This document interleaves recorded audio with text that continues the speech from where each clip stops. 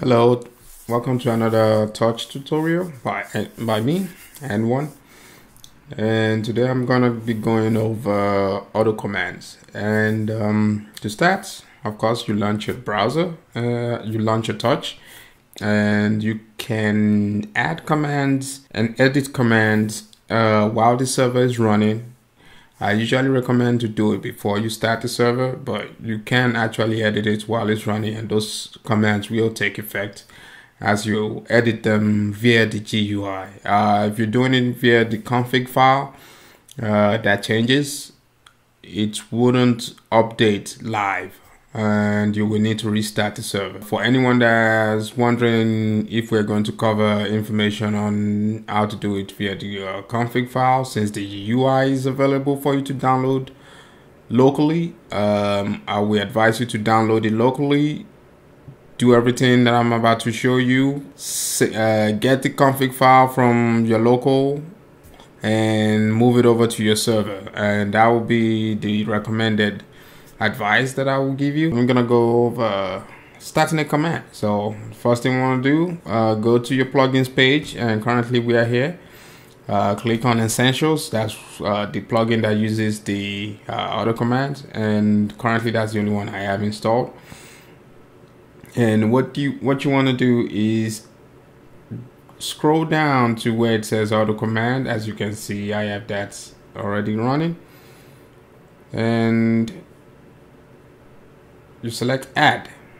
And once you select add you get this uh, what I like to call phantom command. It this command is disabled doesn't do anything and there's no command uh, steps actually loaded in it so you need to fill out all this information. And the first thing you want to do basically go down the line on based on what you want to set for your command. Um, name always name a command. Uh, I named this this auto if I can spell correctly, interval. Interval is usually needed for few commands, but not all. I believe the only one that doesn't actually use interval is the onstart, and I'm gonna go over which will bring us to the next trigger. Now, trigger will determine how you set everything else uh, going on uh, going forward, and that also include the interval. We should probably move the trigger up since that determines what the come out the command is run. So currently it's disabled. Disabled means it's not gonna run, but you can still run it with the admin auto command.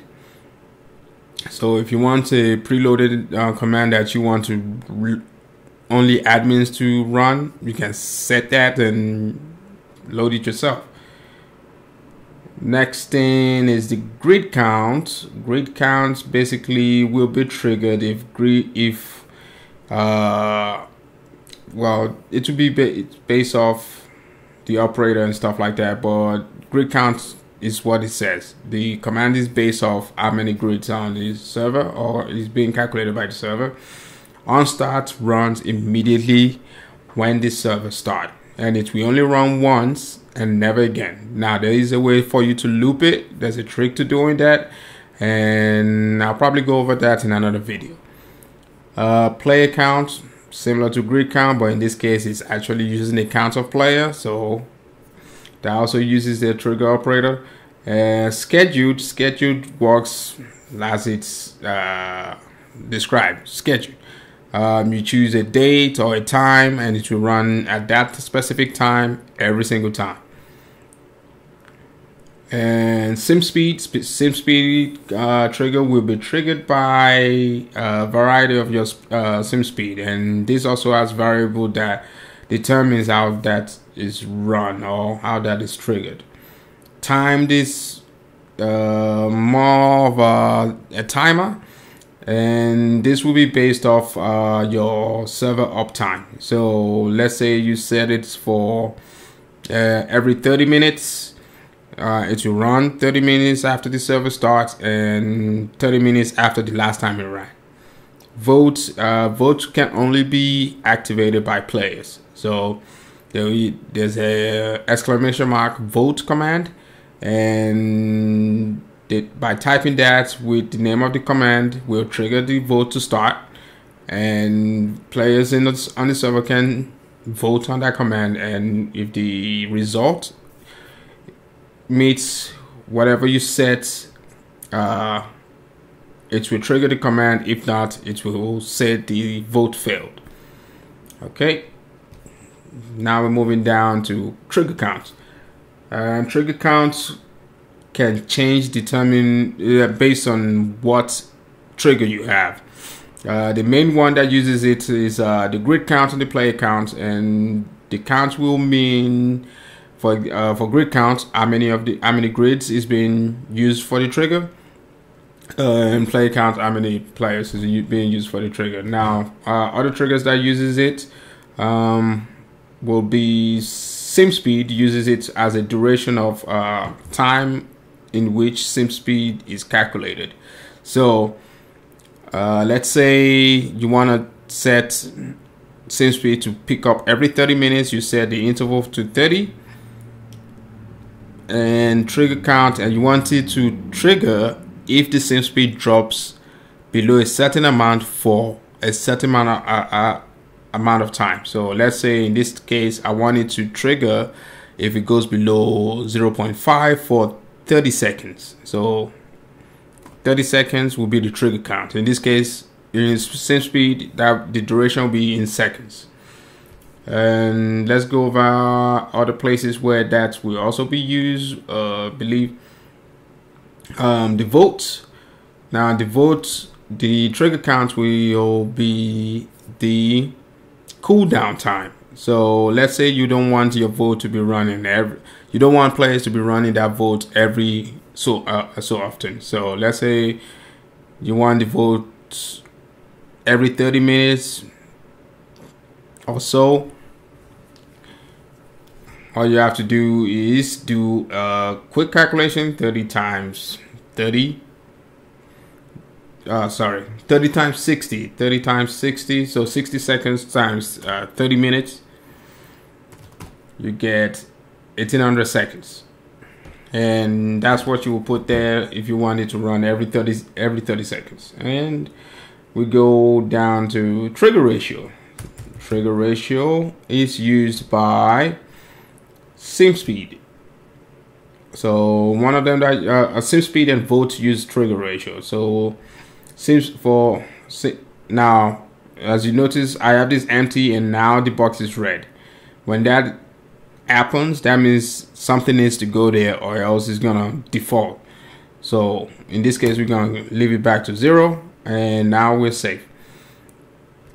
Trigger ratio, sim speed, again, uh, you can use the simulation speed that always shows up here as an example, but it goes from uh, 0 0.0001 to 0 uh, to 1. So the same thing with the vote. Uh, if you want the vote to be 50%, that would be 0.5. And the next one will be the trigger operator. The trigger operator is used by majority of the command uh, triggers. I think the only one that doesn't use is the onStart, timed, and scheduled. Those are the only ones that doesn't, doesn't use it. So trigger count, you want to have an operator for that. Player count, you want to need an operator and if you don't set one it will set less than so make sure this is correct or else your command won't function the way you want for example an exa uh, vote if you want the vote to trigger if the ratio is uh, if the result is higher than 50% you need to make sure this is set to greater than uh, there is an equal uh, don't recommend using that for anything other than the uh, grid count or player count, and this will only trigger if that specific um, ratio or count is met. Else, it won't trigger at all. And the other thing for some of this command that uses all these ratios and operator, make sure you have an interval. The reason why I'm saying I'm mentioning that uh, now is if you don't have an interval set, they will trigger immediately and they will continue looping that trigger every single time. So they will keep uh, looping if you don't have an interval. So what you want to do is, let's say you want to do grid count or player counts. I will recommend at least an interval of 30 minutes. you can choose to go lower depending on your server and how you are whichever commands you're using. Now that we have all the settings done we set the commands how we want it to do uh, we set it how we want it to run. So next thing will be setting the commands itself. This is where you add a step. So as you can see I clicked on the edit collection I click on the add. Now you have a phantom uh, step now. And if you don't fill this out it won't do anything. But make sure you fill something out there. So here we put uh exclamation mark say this. And what we want to do if you're only running one command you're done. This is all you need to do and that's that's all now let's say you want to run multiple commands at the same time and what, an example of this will be cleanup commands. Uh, we have some of those posted on the discord and also on the wiki. You do I say that. Now you don't want this to as as have it set now they will run at the same time. And you also notice that this is also still phantom. That means it's not saved yet. If I add one more it shows up now and I can delete that phantom. And we'll go over uh, doing the same thing after you finish adding the old command after you finish with the other command. So now you have two commands. They both will run at the same exact time because we don't have a delay for them. Now to add a delay you go to the first one or the the let's say you want the delay between the one and uh, the first and second. You go to the first you add your delay say 15 seconds and I recommend to always have a delay for every command. Even if it's just one second five seconds have a delay for every command. Mainly because you don't want multiple commands triggering at the same time and causing your server to freeze. So now we have a, a now this command will run 15 seconds from that uh, this. So that will run 15 seconds from this so now we close. Once we're done we can the next one on the bottom is the schedule the day of the week. Now this only works with the schedule trigger. And what you want to do is if you set a time the time will always be in military uh, format. So let's say we want to do 0400 0400 and that's how we set that schedule set and as I mentioned scheduled will ignore trigger count and trigger ratio since it doesn't need it. If that it will also ignore trigger operator since it doesn't use it it doesn't use that. And the next thing we want to do for scheduled is the day of the week. If I set it to all it will always run at 0400 every day. If I want it to only run on Tuesdays I'll set it on Tuesday and it will only run at 0400 only on Tuesdays. Now that we have that all set, you're not done yet. So do not start the server, do not close your thing. This command is not saved. And you can always tell by the information that is giving you here. So this is giving us the information of when we created the phantom command. So when we added that phantom command, the only thing that was added was a phantom command. All this information that we just added is not saved yet. So once I add, I will add the phantom command again. And now you notice that some of those information changed. So I'll rather update it. Now that it's updated, it means it's saved. And the other command here, I can uh, the phantom command, I can choose to keep it or remove it. But every time you add a new command, once you finish the, uh, adding those information, make sure you click add to add the phantom command. That will save the command that you just created and then you can choose to keep or delete the phantom command that you just added.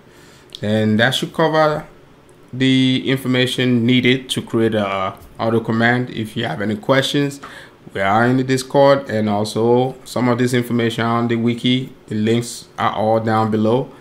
Uh, thank you for watching. Have a nice one